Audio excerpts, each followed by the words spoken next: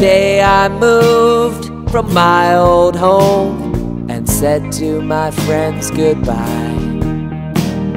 I never felt so all alone. I hung my head and cried. But when I arrived in my new town, there magically appeared a new friend who would lay to rest the loneliness I feared.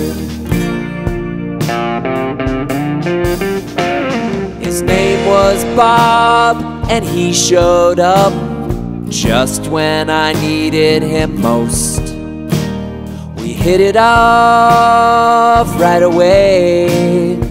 We were instantly close. The day I arrived in my new town, magically appeared. My new friend Bob did lay to rest the loneliness I feared. Talking to Bob is great, he never interrupts. He knows just what I am feeling, and when I'm down, he picks me up. Oh, he understands me all the time. It's like he can read my mind. Oh, Bobby, you are my buddy, tried and true. And I can't imagine a better friend than you. I can't imagine a better friend than you. My new friend Bob will play any game I please. He never argues and he never disagrees. He understands me all the time. It's like he can read my mind. Oh, Bobby, you are my buddy, tried and true. And I can't imagine a better friend than you.